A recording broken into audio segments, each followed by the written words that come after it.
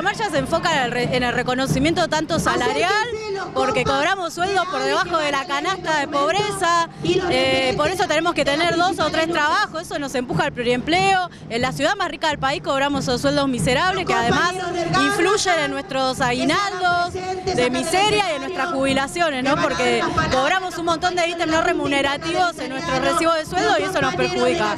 Por otro lado, también estamos reclamando por el reconocimiento laboral la inclusión automática a planta permanente de nuestros compañeros y compañeras contratados durante la pandemia, que fueron incorporados a los planteles para reforzarlos y que ahora están siendo despedidos arbitrariamente, después de haber generado de la ciudad un concurso totalmente ilegítimo para poder echar gente sin problemas, cerrar centros de testeo, cerrar unidades de febriles.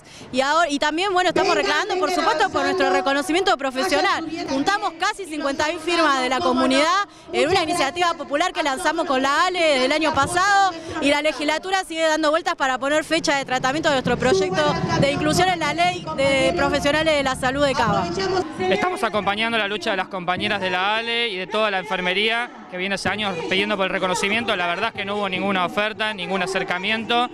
Entiendo que ahora tiene la, la legislatura porteña tiene la obligación de tratar el proyecto del pase a la carrera de la enfermería y bueno, y vamos a hacer una presión muy grande para que cuando se trate el proyecto todos los legisladores lo aprueben porque es una deuda histórica.